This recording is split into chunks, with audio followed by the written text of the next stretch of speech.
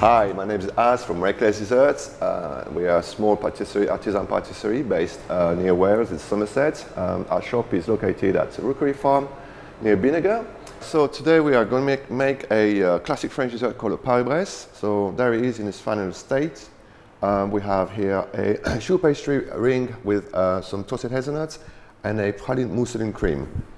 So first, first things first, uh, we need to uh, add the ingredients in the pan. So there's a very small amount of ingredients. That's why it's so classic, so, so simple to make. So we're gonna make the choux pastry. The choux pastry um, is composed of some water, 120 grams of water, some whole milk, 60 grams of whole milk, a pinch of salt, a tablespoon of sugar, which is about 7 to 10 grams of sugar, and some unsalted butter. We've got 100, uh, 80 grams sorry, of, um, of uh, unsalted butter that we are going to um, bring to the boil into uh, the saucepan. Right, so the liquid is coming to the boil now, as you can see.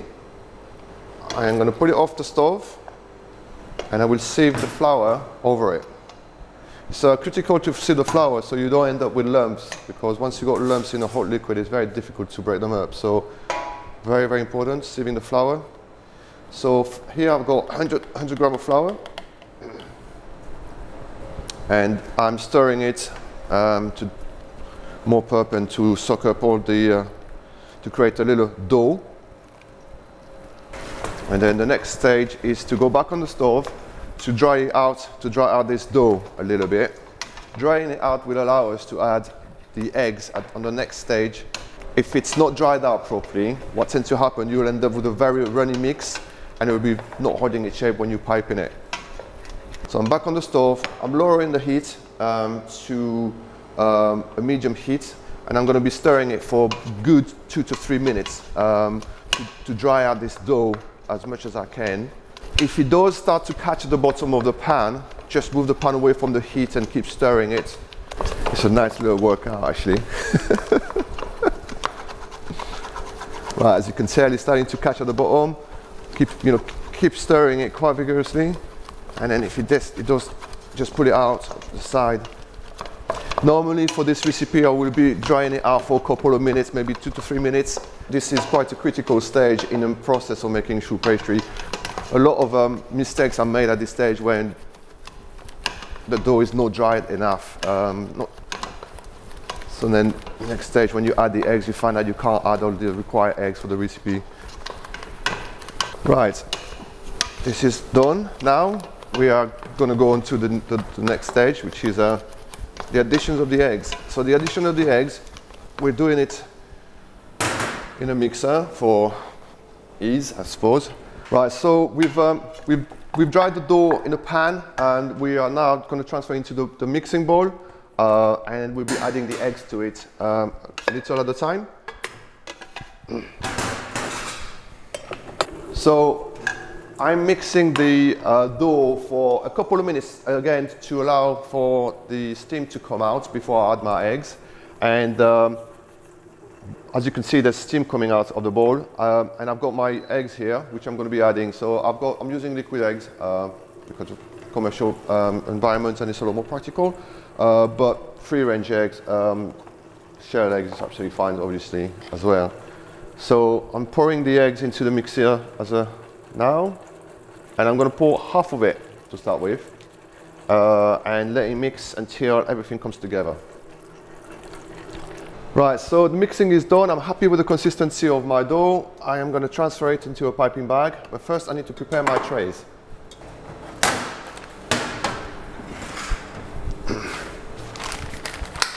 I'm using a, a 12 mil diameter plain nozzle for the, choux, uh, for the choux rings. And I use a little bit of spray, fat spray, ever so slightly, quite light,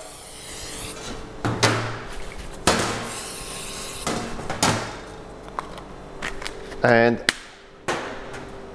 a, light dusting of flour. And this is really just to be able to um, put a print or a mark, if you will, on the tray So I've got a guide to pipe my rings. So I'm gonna do little marks on the tray like so. And I want to give them as much space as possible on the tray really. Uh, you don't want them to you don't want them too close. Um, otherwise they might touch each other. So on here I've got eight on each tray, eight. The piping bag, a little trip, a little twist, and then push it to inside the nozzle. So that will secure the uh, stop the pastry, the, the dough falling through. So like so. So grab my, my piping bag, my door. So it's quite a firm door. So I'm going to do eight on each tray basically, or thereabout. So I've got my mark on here, pipe it. Another one here. Oops. If you, if you accidentally pipe it badly, like I just did, not the end of the world. All you have to do is scrape it off, put it back into the bowl, and start again.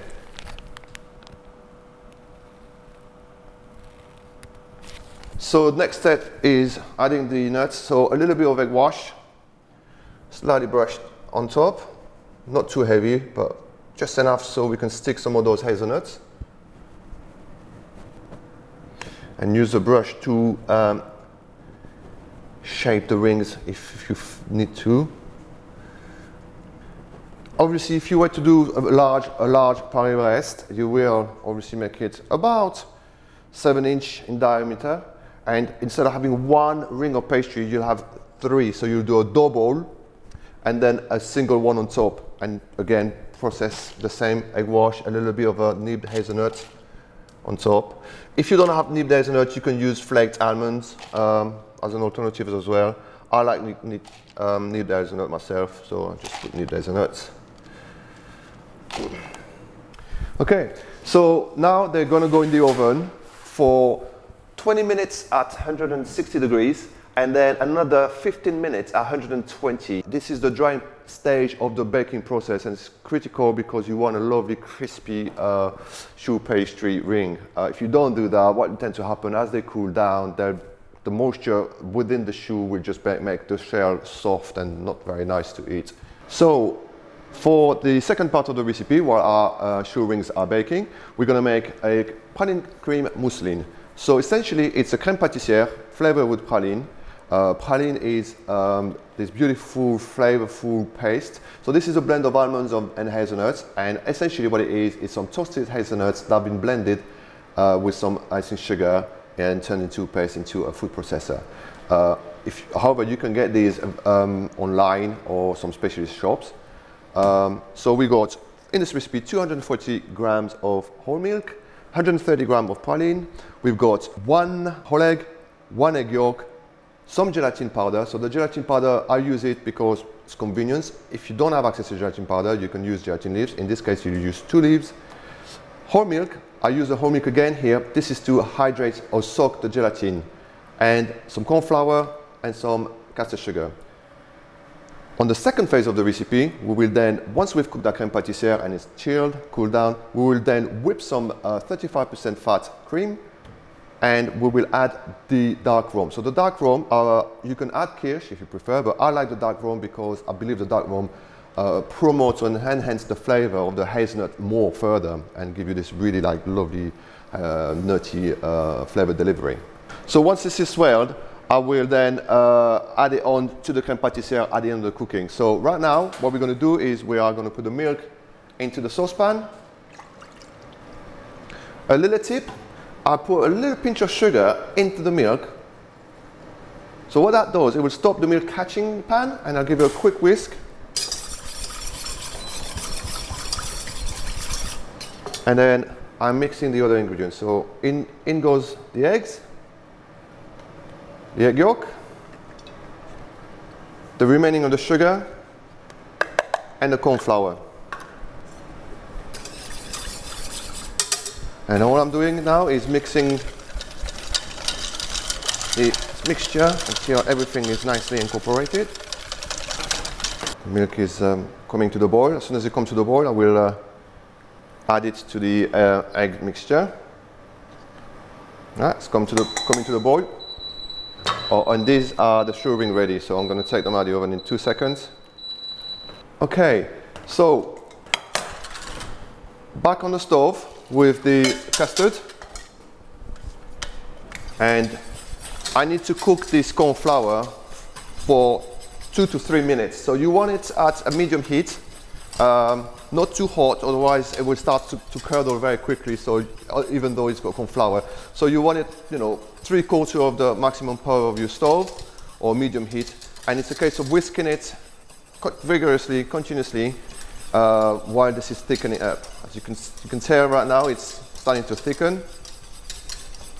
And it's quite important to cook this uh, uh crème pâtissière um, for two to three minutes. You really want to, you know, get the starch flavor out really. You just want the starch to do its job as a thickening agent, not as a flavor agent. If you don't have corn flour, you can use uh, standard flour um, as well. Um, even more so important to cook this flour right out and you know recommend two to three minutes uh, on the stove. Now off the stove I'm going to add the, the, the soaked gelatin or the swollen gelatin. As you can see it's absorbed moisture, the liquid, the milk. So I'm scooping all of that in, whisking this in. So with the heat from the creme pat it's melting the gelatin. And at this stage, I won't go back on the stove. I just add the creme, um, I just add the praline paste uh, onto it, and then I will let it cool down uh, before we're moving on to the next steps, which is folding it into the whipped cream to give you that praline mousseline. You can do a twist on it if you, if you uh, like the idea of uh, Nutella. At this stage, you can add some uh, chocolate and you'll have your chocolate gianduja style or Nutella flavor style of cream. Um, but today we're just doing the classic French uh, praline mousseline for Paris-Brest. I love the smell. I'm gonna transfer this onto a tray to cool down. And that's it. So I'm gonna put a cover of cling film, let it cool down, and then once it's completely cooled down, we leave it half an hour at room temperature on a cold surface, or if you've got space in the fridge, put it in the fridge, and then we'll be back to assemble and finishing the cream. So while my cream is cooling down, I'm gonna whip the cream, which is the second part of this uh, uh, praline mousseline. And uh, whilst the cream is whipping, I'm gonna get my choux rings ready. So I'm gonna cut them in half and then uh, we'll be ready to go and, and then assemble the finished product. So when whipping cream, uh, some, some people like to whip their cream really quickly and, you know, put it on the machine full blast. Uh, I don't recommend it because when you do that, the structure of your uh, cream is a little bit unstable. Uh, by whipping it fast, you bubble, without going into too much into the science bit of whipping cream, but the, the size of your bubble will be very inconsistent. If you're whipping it at a medium speed, you are uh, creating a stable structure whereby your air bubble within your cream or whipped cream are more or less the same size, therefore giving you a more stable uh, cream, whipped cream. So if you pipe then this cream, it will stay put for a much longer time and the texture and the mouthfeel will be a lot better than if you were to whack it full speed. Hope that makes sense. so while the cream is uh, whipping, I am gonna cut these guys in half.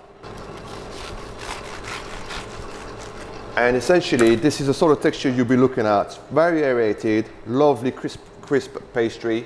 Um, and then just put them back on the tray. As I said earlier, it's very critical and a lot of people don't realize when you do cook your choux pastry, it's very important to have this drying stage uh, on the baking process. So here the, our, on our oven, we got uh, the flexibility of having obviously uh, different temperature programmed into the, the oven. So just to recap, on the baking profile, I put them in 160 for 20 minutes and a further 12 minutes at 120. Uh, if you have an oven that has got a form of steam trap or uh, a, a, a steam door, you can then flick the steam door open to let the steam uh, escape the oven. If you don't have an oven that's got a steam trap, what I recommend is at the end of the first uh, baking period, just open the door to release some of the moisture and, and, steam out of the oven, and that'll give you a similar result. But it's critical not to miss that part because, as I said, the share will not be nice and crisp as it should be. So that second part of the baking is critical, in my opinion. So just checking the consistency of the cream. Um, and to, to, know when the cream is ready, what we're looking for is a soft peak, um, as it's called in the, in, in, the, in the industry. So when you take uh, your cream with your whisk, you want to see that kind of a soft, big uh, drop. This is when the cream is ready, basically. Anything firmer than that might not give you the, the required results. So this is a really soft um, consistency peak. That's it. That's exactly what we're looking for. We call it also a soft beak, as in a beak from a bird. Right, so um, our creme pâtissière, plain creme pâtissière is cooled down and ready to be uh, folded into our, our, our whipped cream. So for that, I'm just going to grab a bowl and then transfer into the bowl. When you're cooling the creme pâtissière, it doesn't, you know, it, as long as it's at room temperature, it's perfect. Um, any colder, the gelatin will start setting and it does, you know, uh, affect the, uh, the end results as such. So um, yeah, it's cooling it down in the fridge, but keep an eye that it doesn't stay in the fridge too long, essentially. So I've got the, um, the creme pâtissière. I'm going to add to it the cream uh, and the rum. So first the rum and then the cream. The rum, dark, dark rum.